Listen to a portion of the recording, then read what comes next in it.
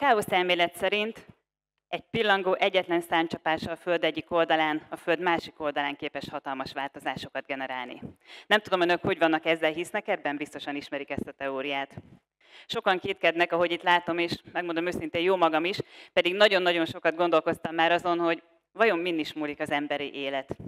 Min múlik azon, hogy az életünknek a folyamában éppen ott tartunk, ahol tartunk.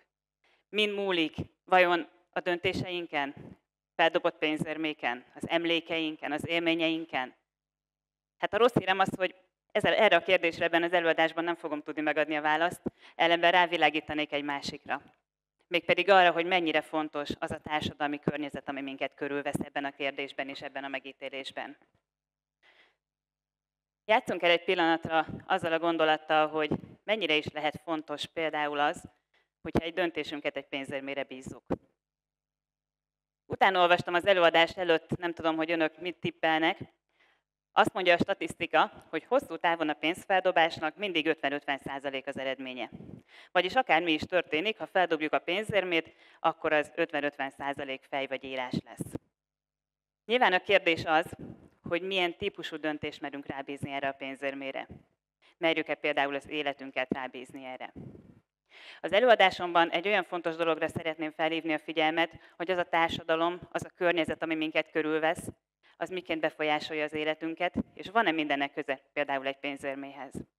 Azt gondolom, hogy a társadalmi vetületben például azok a címkézések, amit akár nekünk is meg kellett adni, amikor felkérést kaptunk erre a TEDx előadásra, és oda kellett írni a nevünk mellé, hogy mik is vagyunk mi, milyen címke van rajtunk, hogy éppen közmunkások vagyunk, bolti eladók vagyunk, vagy épp egy egyetemi központ főigazgatója. Ebben a kérdéskörben, hogyha végig gondoljuk, kicsit utána olvastam, és ma már lettek említve a brit tudósok, hát képzeljék el, hogy a brit tudósok utána jártak ennek a pénzérme feldobásnak is, és egyébként azt mondták, hogy nem biztos, hogy 50-50 százalék az esély, mert igenis függ attól, hogy milyen súlyú az érme, milyen erővel dobjuk fel, sőt, kimutatták, hogy nem mindegy, hogy melyik felülete van a pénzérmének felül. Mert hogy ennek fényében lesz majd az eredmény is, így fog megszületni. Az én életemben ennek a pénzérmének és ennek a pénzérmének a feldobásának mondhatjuk, hogy nagyon nagy szerepe van. Én rámertem bízni egy nagy döntést 2006-ban. Egyetemválasztás előtt voltam, és bár azt nagyon jól tudtam, hogy mit akarok tanulni, azt már kevésbé, hogy ez hol. A pro és kontra lista, megmondom őszintén, nálam soha nem működött jól. Lehet, hogy csak egyetlen egy elemet írtam az egyik oszlopba, tizet a másikba, de mi van, hogyha éppen az az egy, akkora jelentőségű, hogy felülír mindent? Hát mit tesz ilyenkor az ember lánya? Feldob egy pénzérmét. Ezt most nem teszem meg, mert prezenterrel a kezemben biztosan nem tudnám elkapni, de azért itt lesz a kezemben, és néha majd utalni fogok rá. Szóval én feldobtam annak idején ezt a pénzérmét, írás jött ki, és szeptembertől Nagykanizsán tanultam. Ennek a pénzérmének a története aztán az én életemben elég nagy eredményt hozott, hiszen 2006 óta itt vagyok, és ahogy mondani szokták, a többi már történelem, az én utam itt Nagykanizsán. Higgyék el nekem, hogy nagyon-nagyon szürreális élmény az, hogyha az ember egy olyan helyen tanul, ahol aztán később oktatni fog, aztán később még vezetője is lesz az adott intézménynek. Hát elképesztő élményeket hozott ez nekem. Nem egyszer fordult elő az, hogy adott esetben még mondjuk úgy, hogy szerepkeveredés is történt. Képzeljék el, hogy nem régóta tanítottam még, és Veszprémben is volt órám az anyaintézményünkben, és mikor ellátogattam oda, a második órámat tartottam, az első nem volt ott mindenki, vonultam végig a padsorok között, a második alkalommal mentem előre a projektorhoz, és egyszer csak hallottam, hogy valaki megszólal a hátam mögül, hogy basztus, ez a tanár. Az előbb tőle kérdeztem meg a folyosón, hogy meddig tart az óra. Aztán volt egy másik alkalom, amikor már igazgatóként látogattam el az egyetemünknek egy másik telephelyére, egy diplomátadóra egészen konkrétan, és a hostess lányok mindenképpen ragaszkodtak hozzá, hogy én mondjam meg, hogy mekkora méretű talárt kértem. Mondtam nekik, hogy ne haragudjanak, nekem nem kell, nem kell talár, Hát nem hagytak békén, nagy nehezen sikerült őket meggyőznöm, hogy én egy másik sorban fogok ülni. Ragaszkodtak hozzá, hogy a végzősöknek már pedig kell talál. Úgyhogy érdekes és szürreális helyzeteket szült minden esetre ez az én életemben. Erre a pénzérmére visszatérve felmerülhet ugye akkor a kérdés, hogy tényleg van ennek jelentősége az én életemben. Engedjék meg, hogy három olyan kis anekdotát megosztak önökkel, három személyes történetet, ami rávilágít arra, hogy miért is fontos egy pénzérmének minden oldalát megnézni. Abban a szerencsés helyzetben vagyok, mint mondtam, hogy tulajdonképpen nagyon-nagyon hasonló, mondhatni ugyanazon szituációkat, helyzeteket éltem meg három különböző szerepben. Ebből hoztam most önöknek három példát. Az első, egy tipikus hétfő este. Hallgatóként Délután bevásároltunk, elsősorban a narancs és a fahéj volt a fontos, mert a tequila igenis a gold verzióban finom és pont. Egész délután készülődünk a szobatársaimmal. Nagyon fontos, hogy a Móni időben ideérjen, mert neki még ki kell vasalni a haját. És egyébként is a Viki meg ő fog mindenkit kisminkelni, úgyhogy ő is fontos. Készülődünk egész délután. A fiúk már nagyon türelmetlenek az emeleten, hogy menjünk már, menjünk már. Mi még nem vagyunk kész, de azért szép lassan elkészülünk. Közösen vonulunk át a szórakozó helyre, a többiekkel, a kollégistákkal, jól érezzük magunkat, és csak az a feeling van meg, hogy milyen jó egyetemistának lenni. De jó, hogy nem dolgozunk.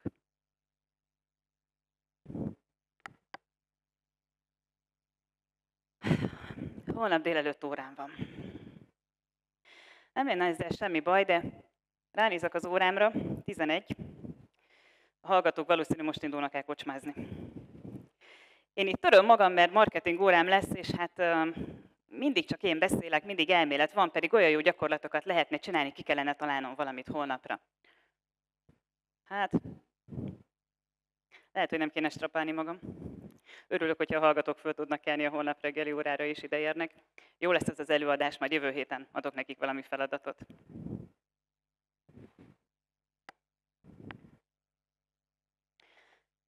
Hosszú volt ez a hétfői nap. Egy megbeszélésen vettem részt, ahol arról beszélgettünk, hogy hogyan lehetne az oktatást, az egyetemi oktatást vezetői szinten úgy koordinálni, hogy még gyakorlatorientáltabb legyen. Még kevesebb elmélet, még több gyakorlat legyen benne. Hogy lehet ezt megoldani? Igen, van, van adott esetben probléma néhány kollégával, valaki meg olyan ügyesen csinálja, tanuljunk egymástól. Hogy lehet ezt megtenni?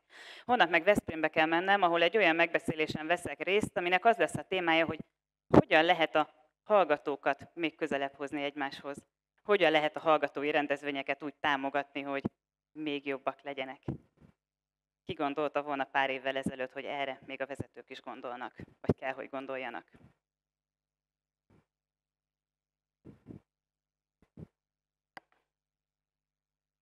Reggel 6 óra, pizsomában a kollégiumban, és valaki eszeveszettő dörömből az ajtón.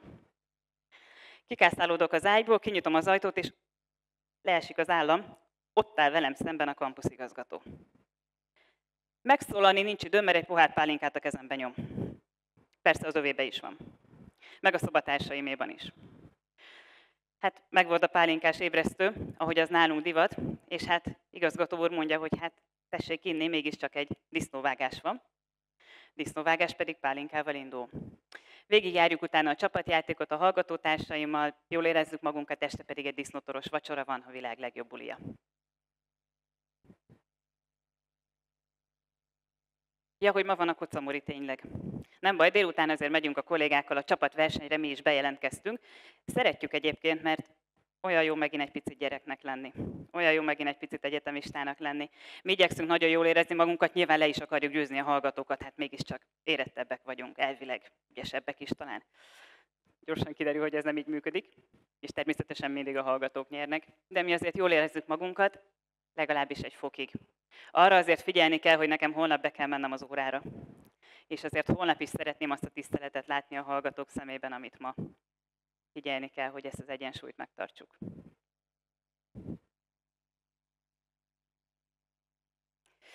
Nagyon korán kellett kelni, hogy hatra beérjek a kollégiumba.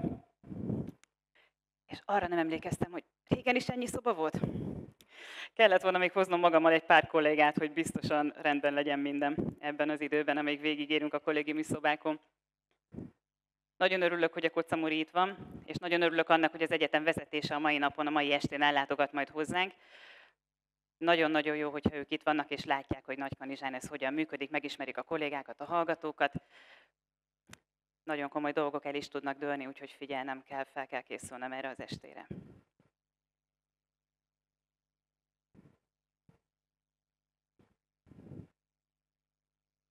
Szinte felét elmondtam. Bólogattak, talán meg lesz a kettes. De úgy ver a szívem, és mindjárt összeesek, nem kapok levegőt, kell egy pár szusz, hogy egy kicsit, kicsit összeszedjem magam. Csak egy pár, pár nagy levegő, és minden rendben lesz. Itt van előttem, leírtam. Jó lesz, meg lesz. Ajjaj. Ma három másodperce meg se szólalt. Elmondott mindent, amit tudott? Ez így nem lesz elég. Gyorsan kérdezek tőle valamit, hát ha segít. Fenébe. Most, most még jobban összezavartam. Hogy lesz ebből kettes? Vizsgai időszak vége felé kollégáktól hallok cifra történeteket, új és újabb módjáról a puskázásoknak, vagy adott esetben váratlan sikerekről, amit a hallgatók teljesítettek. És pont ebből adódóan én mosolyogva fordulok végig a folyosón az egyetemen. Szegény hallgatók ott ülnek tömött sorokban a reszketés különböző fokával az arcukon. Én csak mosolygok, ők mennyire utálhatnak engem ezért. Nem tudják, vagy nem gondolnak bele, hogy egyébként én is hány vizsgai időszakot éltem meg.